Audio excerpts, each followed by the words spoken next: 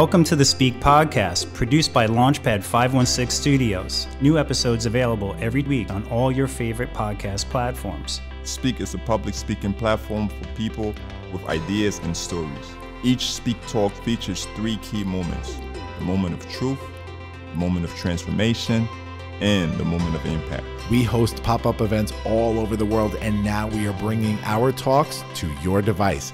Our speakers are stepping onto the stage and into the spotlight, and now onto this podcast. Welcome to the show. Welcome, everybody, to a live recording of the Speak podcast. There's going to be a little bit of redundancy here and there because the folks that are listening to this at home after the fact were not at the live event that we were just at, Speak Growth. But I am George Andriopoulos, the architect and one of the co leaders here at Speak. I'm Fred P. Banny III, the builder and one of the co-leaders here at Speak. And I am Jason Martin, the engineer and one of the co leaders here at Speak. And we just finished up our one year anniversary event, Speak Growth, at the Nutty Irishman on November 30th. So, big round of applause for all of our speakers today, guys. What an incredible event, huh? Yes, sir. How you feeling? How you feeling, boys? It was unbelievable. What a great event. So much energy. Um, I can't tell you how moved I was by all the speakers. Like, I came to tears a couple of times. What a great event. Yeah, uh, it, it's it's surprising sometimes. So so for those of you that don't know the the process that we go through here, we work with these speakers once we procure them. Uh, we have a whole program we go through. They submit drafts. We collaborate with them. We go we kind of go back and forth. They know their content better than anybody does, and we know speak better than anybody does. So we kind of collaborate to come to a talk that is fitting of this stage and that engages with our audiences. And having read through these drafts time after time and gone through our virtual rehearsals, I mean, these speakers put in a tremendous amount of work. But all of the times that I have read these and heard these, it's like the first time all over again when it's live. Every time, right? Because what I love about our process, because we have speakers from all different levels. Some people who are pros, this is what they do for a living. And some of the speakers, that's just their first time taking the stage. But one thing that we always emphasize, that if you come with a collaborative spirit, regardless of your level, you will shine. Because they know their content. We know speak. We build speak. We know the ins and outs. Our job is to amplify. Our job is to highlight them and put them in the best light so that all of you, all of us can experience the stories that connects all of us. And um, I'm so grateful that on this one year anniversary, it was so reminiscent of beginnings one year, one year ago. Just the emotion and everything. So I, am grateful to all the speakers that took the stage tonight because, um, yeah, we, we, I had an emotional roller coaster, but in a good way, in a good way. Absolutely. You know what, Fred? I think it's time to kick this thing off. Why don't you introduce our speakers and bring them up to the stage? All right. So, well, let, can you guys just come up? We have Adrian coming up. We have Jim Kathy, Andrea, Dr. Nathalie, Sarah, and Lea. Thank you. All put your hands together for them.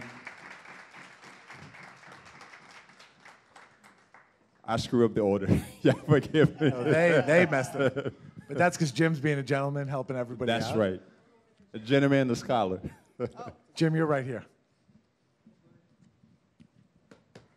Come on over, buddy. Right next to me. All right, so you know what? Let's just give everybody a proper introduction on the podcast here. So, first speaker here we had was Adrian Goodwin.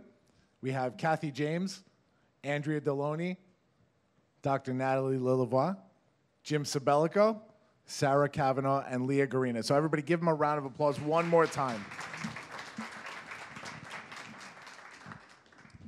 So, I want to I want to dive right in. This is our one year anniversary event, um, and our theme is growth, which for us was really the next evolution of beginnings. As we sort of planned what we, excuse me, what we would be doing for the one year anniversary, we knew we wanted to come back home.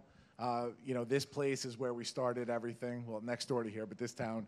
Um, we knew we wanted to grow and evolve on our theme. So growth was really the natural evolution we decided for beginnings, and it, it really came to us in in a minute. You know, we, we, we were, we, we thought we were going to have this whole contrived conversation about what the theme was going to be, and it was just kind of easy for us to do. So uh, I want to start with Adrian. We're talking about growth. What does growth mean to you, and how have you grown through this experience here with Speak? I am growing as you just handed me the mic. I, I, I just think for me, growth is just the ability to just share a little bit more about myself. And every time I unpack those layers as to what is the engine behind who I am and what I do and what drives me, that is when I grow, is when I let go of the vulnerability and share my story. I am liberated to move further, even, even more. And it gives me the confidence to keep going every time I share a little bit about myself. Yeah, so we we had some fun uh, collaborating. Uh, you, you can keep it. We had some fun collaborating uh, back and forth with the, with each other. Obviously, the theme of this event is growth. So what that means is all of our talks today are going to correlate to that theme uh, somehow. So, um, you know, hearing your story. Um, and, and what you've gone through and what you've persevered through in life and where you are today was just so uh, incredible. What would you say to somebody, or I would say really to the young version of yourself, you know, who has not had that growth yet? What advice would you give her moving forward? Keep going. Like, really just keep your eyes on the prize. And, and that was just the message, the theme of my story is to just think about the end goal and then trust the process. So no matter what life throws you, think about where do you want to be? Where do you want to see? How do you want to feel in your life and then get there? Whatever that means for you, whatever obstacles you have to overcome, just know that I, this is where I want to be in my life and you'll find yourself there. So perseverance and resilience, right? Resilience is non-negotiable. You have to keep moving. Awesome. Thank you so much. We appreciate that. Kathy, let me ask you uh, your story is so incredible, and I'm really interested to know how do you go from a moment where your child didn't want you reading to him to being able to speak on a stage about your growth?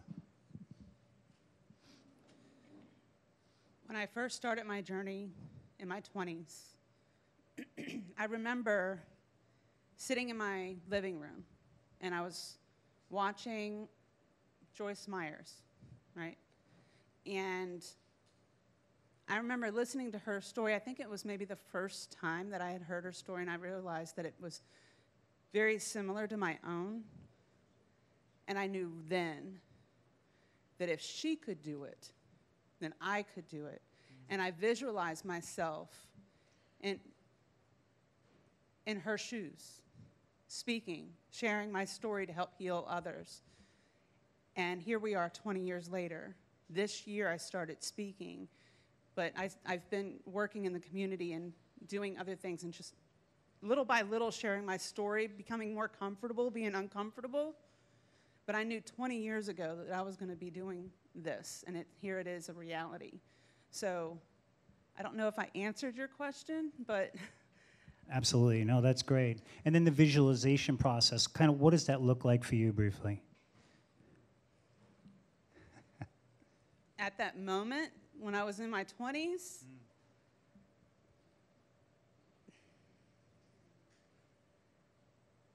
I know that I'm going to be on bigger stages. I know that I'm going to make an impact globally. And I hold true to that, not because of the fame, but because I feel that within my bones, this is what I'm called to do. So I see myself in front of the people that I'm going to help extend hope to. I love that. Thank you so much. Powerful, powerful. So the question I have for the person is this is a little close to home because there's a personal connection there. So Andrea, um, you your talk was literally about growing through grief, right? The title was "Grow Through Grief." How hard was it to finally say those words out loud, and how do how do you? I was going to say how does it feel, but how do you feel now? I'm, and I'm talking about like just the catharsis of giving a talk like that. Like, how do you feel? Yeah, I feel relieved. I feel stronger. I feel more alive, I think, than I did before. You know, this was a story where, and I have to preface this by saying I talk a lot for work. So I am in no way shy to be on a stage or have a microphone in my hand. But when it came to do a talk about my parents, I mean, reliving an experience that I had only talked about in therapy years ago, and now having to, you know, intentionally spend time going back through all of those experiences again and then again, um, it was difficult. It was difficult for a number of reasons. It was difficult because I knew my community that I would be inviting to be here. I know their stories, and most, if not all of them who are here today, were also there in, in real time for both of those. So this wasn't just an experience for me to release, but it was also, I think, an experience for everyone who was closest to me. And to be able to not only see me and hear me share, but for me to be able to do that, looking out and seeing them here and being here for and with me, I just feel so powerful, so powerful. Excellent. You know, something I, I, I always talk about is how, you know, growth doesn't take place in isolation. We grow in community. And your talk was such an emotional roller coaster because you talk about grief and everything, but you talk about how you came to life, if you will, through community. So going forward, responsible storytelling, right? You did not leave us in the depths, but you brought us up and giving people a way to to come out of whatever they're doing through community. So you kind of mentioned the talk, but on a personal level, what is community to you? Hmm. To me, community is safety, community is peace, community is comfort, community is understanding, um, community is warmth. Community is all the things that you don't have when you keep it to yourself. So you know, when I think about my experiences and, you know, if it was something I had to share with other people, is that when you're going through those experiences, whether it's grief or anything, and you find yourself wanting to retreat and be alone, just know that once you, you get past that part of the process and you open yourself up to really share and allow for people to be there for you, I promise you they want to be there. But, you know, as I said, they don't know how to because they don't know whether or not you're ready for it. So community has been uh, the most amazing space to not only get myself into or back into after those moments, but to keep myself there. Awesome. Thank you so much. Sarah, it was an incredibly brave uh, talk to give, especially since today, November 30th, is your mother's birthday. Can you talk about the level of strength that it takes to stay composed on the stage when giving such a personal talk? Well, thank you. She would have been 89 today. Um, I think, thank you, first of all, for saying that I was composed. Um, I think it was somehow learning to walk alongside um, once you've sort of healed some of those hurts and traumas, that you're then able to actually share and walk alongside your nervousness. I guess I have never shared about her um, and uh, or about my child's visit to the hospital, and I feel like this evening gave me some freedom to talk more about that and to really um, hopefully reach out to other parents who are experiencing the same. Um, I really appreciate the question, and uh, it took me uh, a while to get here. So I thank you. Gotcha. If you would indulge me, could you maybe share a little bit about that freedom that you speak of, that you now feel? Yeah, well, George said something to me that really helped over the last week, and is it okay if I share it? Yeah.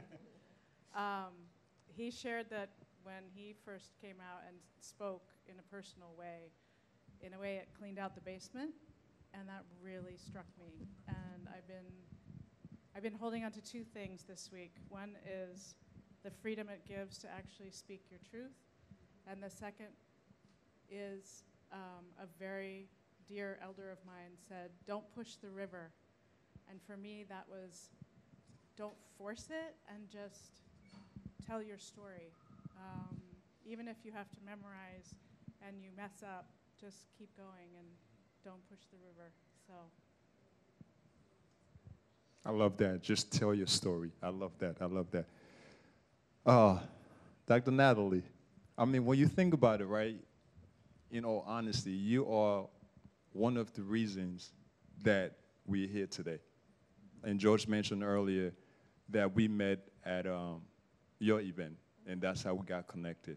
So, how does it feel transitioning from being behind the stage as a producer and now stepping into the spotlight onto the stage and giving a, a talk in such a powerful way? What is that transition like? The transition is, uh, is like super humbling. I said, first of all, um, you know, hearing that this venue and this platform grew out of the two of you meeting at a TEDx. I mean, it's like it's like what you want. It's like a dream come true. You want people to kind of connect at your events, and you want them to go forth and do bigger things. And this is a bigger thing. Um, so it's very exciting for me. It's also very humbling for me to kind of come out from for the production side because it's easy to produce and tell your speakers, oh, just get out there. it's so much harder to actually be the speaker that has to memorize and get in front of a group of people and be vulnerable.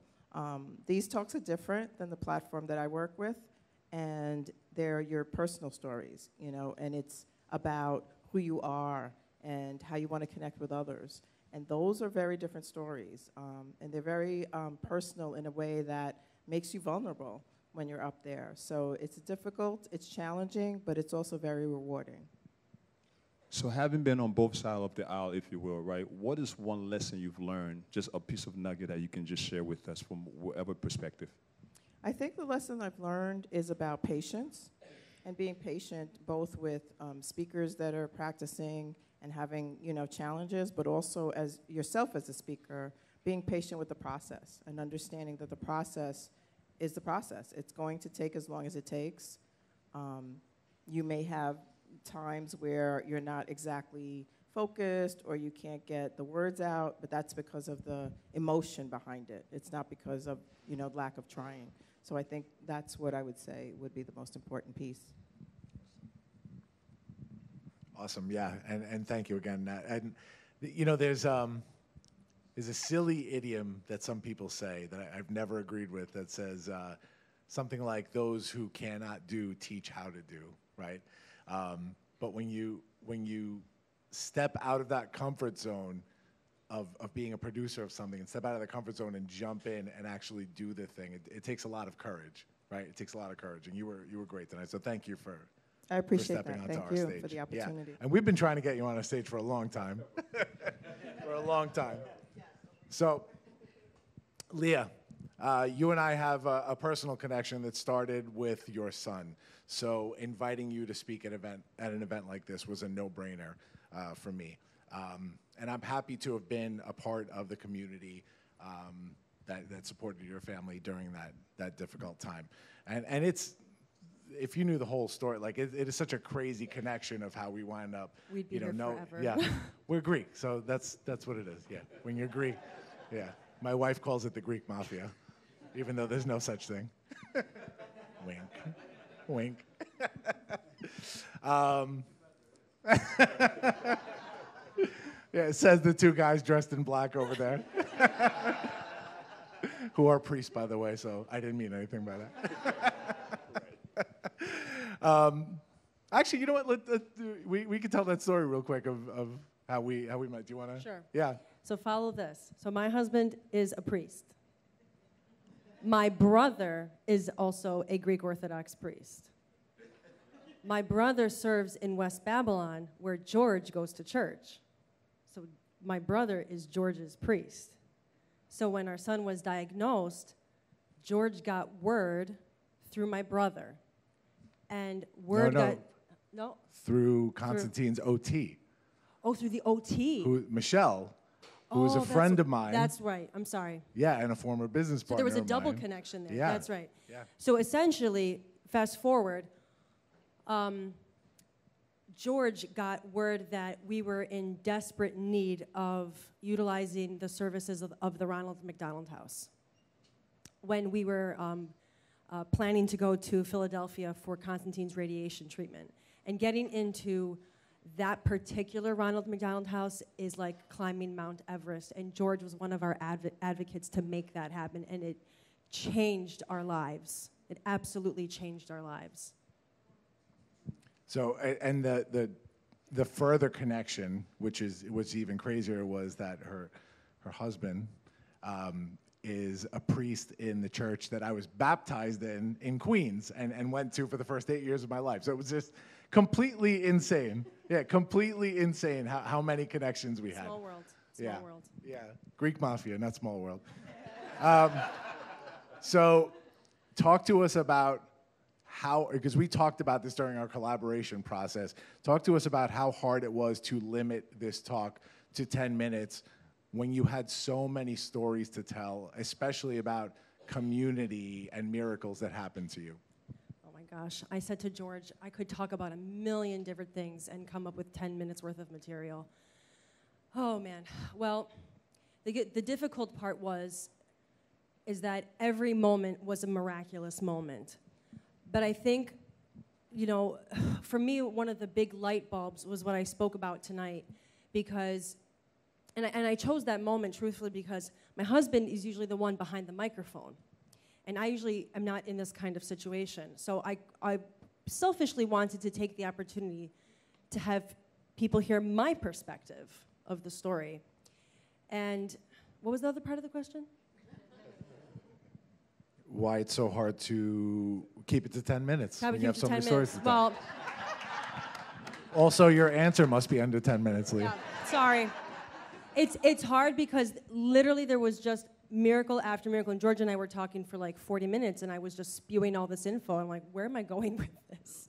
But it was very hard. And I think, oh, man, I think I just wanted to focus on where it all started. Because from there, it was just like the yellow brick road. Just start at that one point and go. Yeah, yeah, and that, and that's how stories that's how stories happen when you take a stage like this, and, and hopefully this is not the last time that you take a stage like this. But there's a million different directions that you can look, or a million different perspectives where you could look at one story and, and tell a bunch of different stories that'll help a bunch of different people on it. So we, we thank you for the honesty and, and sharing the story so much. For the space to do it. Jim, I want to follow up with you because you and also you and I also uh, we're we're from this place. We're both from Farmingdale. We are Dalers. We share a, a brotherhood. We share a history. Why now? Why is it important for you to get up on a stage now and share your message? There is a legitimate possibility I might not make it home tonight. Uh, Truthfully, like we don't think about that, but we're all gonna die. And it's gonna happen not when you want. And I know that sucks to hear, but it's true. And I woke up today, I've been given the gift of this day.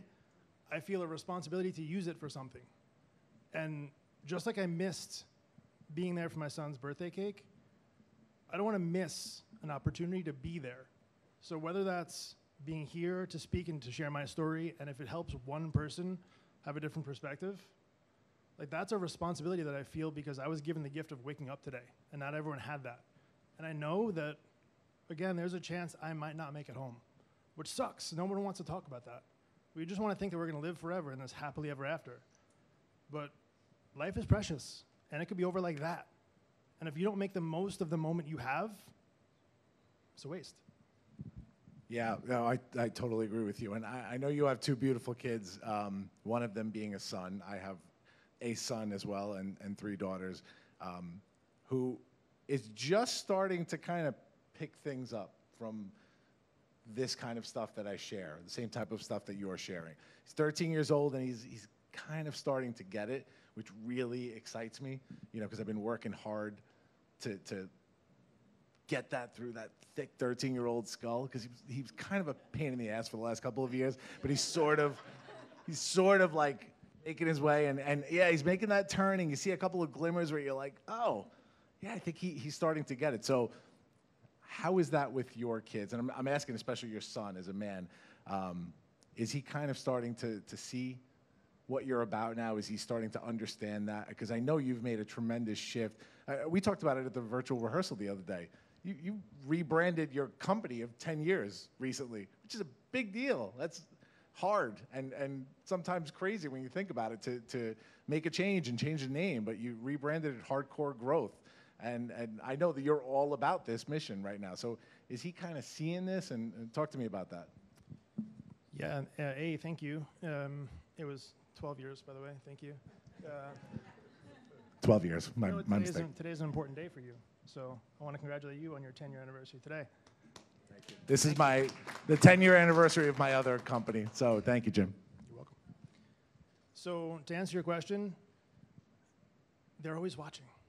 Like they don't listen to what you say. If anyone has kids, you know they don't listen to what you say, but they watch what you do. And it is so freaking important to give them the opportunity that we may not have had. And I look around and I'm like, there's so many adults that I deal with, myself included, who didn't have that definition of possibility growing up.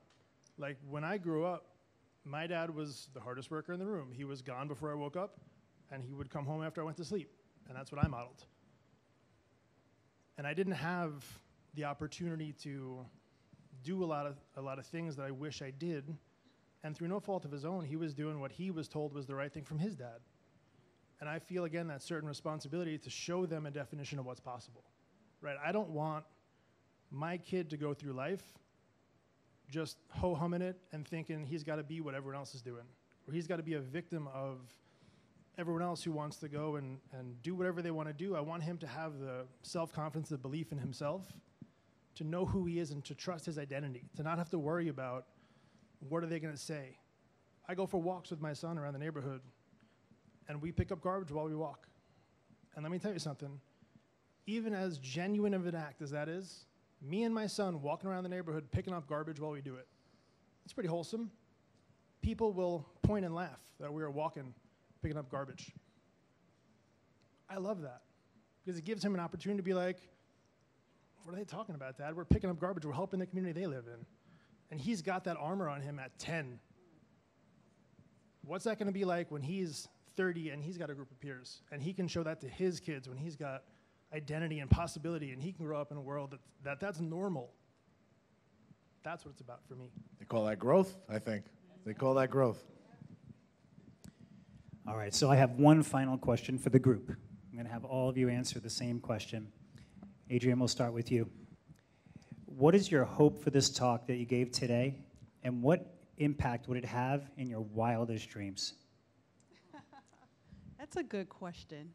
Um, I hope that my talk inspires one person to just keep moving forward, even when those roadblocks come up, um, especially as my journey through motherhood was from the inception to I gave birth. It was almost like a three year journey. And I didn't share this in the talk, but I remember getting an award one day um, downtown Brooklyn at one of the courts.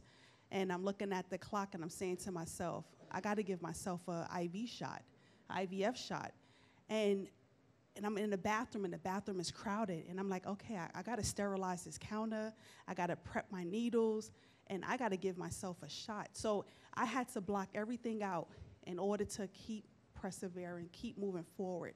So that's just my message to you and anyone else who's gonna watch this. Get to your end goal, whatever that looks like for you. On a bigger stage, I just wanna just talk everywhere I go, um, here, internationally, I just want to be on somebody's platform, just inspiring women to negotiate the life that they truly desire to live, right? And having those non negotiables in order for you to get there. Excellent. Thank you so much. Can you repeat the question? Absolutely. I'd be happy to.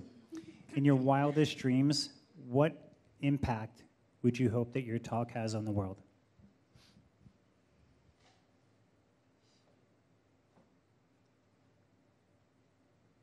I would do this for one person, but I want, I want generational cycles broken. I want hearts healed. Even if I never know, I want that. I want that because I know it's possible. Just like I said, if she can do it, I can do it. And if I can do it, you can do it. That's what I want. Legit. Love it. Love it. Thank you. I think for me, the impact that I would love for my story tonight to have is for people who are experiencing that deep traumatic grief to know that there is so much life after it. And when you take the sadness and the hurt and the confusion from your grief and shift it to honoring the legacy of those you're grieving, your motivation, your drive, your inspiration, your why begins to look so different. Um, and so, to that person, I would hope that, you know, mm-hmm. before they make that choice to give up, they make that one call or they put up that one Facebook post or that one Instagram post or tweet or whatever it is, whatever platform they need to reach out, post that, share it, send it, do whatever, so that way your community knows and they can see your bat signal and they can be there for you too. Awesome. Thank you. Jim. I want to give people permission to be vulnerable. Um, it's not something that I think men in particular are comfortable with. Being emotional, saying they need help, honoring their wives in a way that doesn't make them look weak or insecure.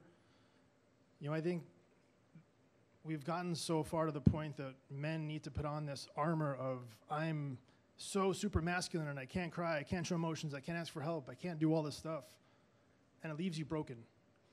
And I want a world where I can be like, hey, George, I love you.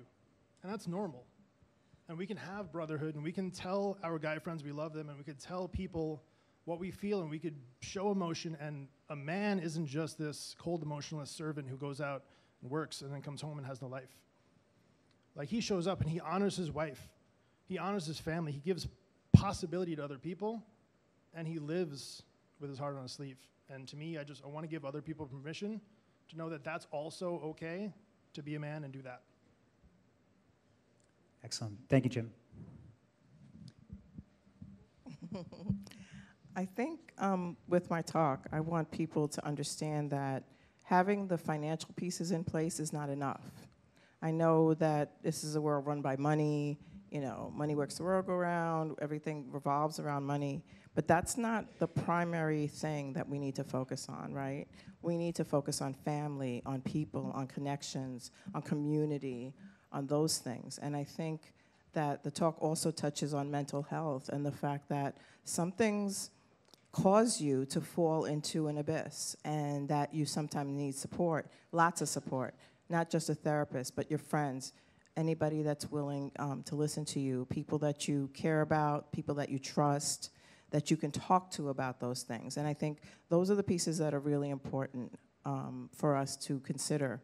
And I hope that that message kind of gets out there and reaches other people. Absolutely. Thank you so much. What impact would you love for your talk to have on the world? Well, first of all, it's been such a pleasure to meet all of my fellow speakers and hear their stories. And I resonate with what Jim said about only having today. I'm really committed to the conversation, uh, the difficult conversations to have about grief. There's so much grief on so many levels.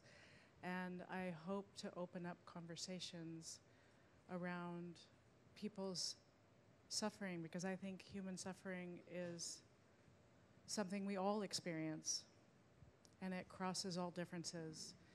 And I think just making it through tonight and meeting all of you, I think I've met my goal for the talk. So that's fantastic.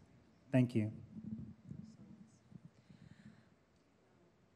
I think for myself, I want to make sure that whatever parents are out there struggling, if they have a child um, or a family member um, going through some kind of mental uh, uh, medical difficulty, that finding someone to speak to that can comfort them. It doesn't necessarily have to be my words from tonight, but just knowing that they have someone that they can be on the same level with. I couldn't speak to people um, who didn't understand our situation. I've had strangers call me saying, so and so said that, you know, your son went through this and I just want to talk to you. And those are the people who get it because you lived it and you went through it. So, on a small level, I hope for that. On a global level, I hope that people understand that when families go through something like this, that trauma is real for all members of the family.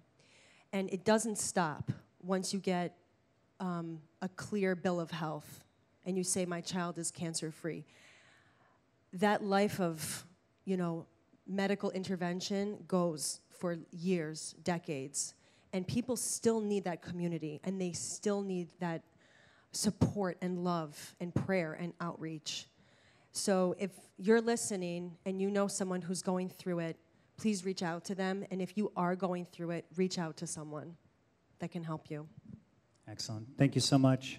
And ladies and gentlemen, I would like to thank all of you for uh, not only being a part of our one year anniversary show, Growth, but being part of our live Speak podcast. You guys were all fantastic. Give yourselves a nice round of applause. Thank you. So now, members in the audience, how are you feeling? Because I'm looking at your faces, and these people are just hitting you in the heart. So reflective. Are you guys feeling good? Yes, absolutely. So the speakers, I just want to say what was the through line in all of your responses just now is you weren't looking for anything for yourself, but you're looking to make the world a better place, looking for other lives to be better. And I just want to tell you, you it already started tonight. Because during our intervention, I was walking around and people was telling me, Fred, you didn't tell me this was a, ther- a therapy session, right? And somebody was like, man, this is such a roller coaster, uh, um, a journey. I was just because we get to experience human emotions, and that's what connects us. So again, thank you, everybody. That does it for this episode of the Speak Podcast. Make sure you subscribe on Apple Podcasts, Spotify, Pandora, Amazon Music, and anywhere that podcasts are downloadable. The link is also on our agenda page and the Turkish That Survey. Thank you so much for coming out. Thank you for being a part of this amazing, amazing day. And I want to thank you all for celebrating the one year anniversary of Speak. What's coming in year two? We have five Speak at the Studio shows coming. We're going to North Carolina. We're going to Austin, Texas. We're going back to Dallas, Texas. We're talking about a European tour. Right, we're going back to Belfast. We're talking about going to London. We have a ton going on. Follow us on social to keep up on what's happening with Speak and keep just supporting these incredible speakers and, and our platform. It means so much to us. So, last thing I want to do is now that now that the whole show's over, I want to bring up these incredible speakers for a bow. So, everybody, if you could all line up straight right here in front of us and take your final bow of the night. Right up. Everybody line yeah, up. Put your hands together. Put your hands together. And bow. Good night, everyone, and get home safe.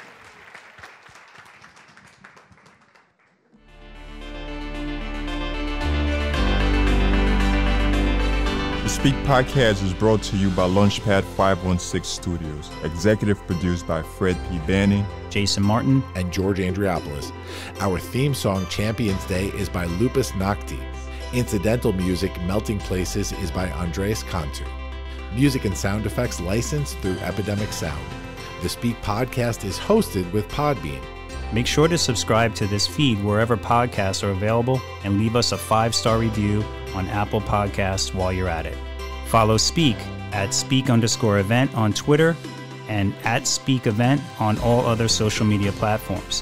Visit our website, speakevent.com, for upcoming events, channel partner, sponsorship, and speak at work opportunities. and follow all the great podcasts produced by Launchpad 516 Studios.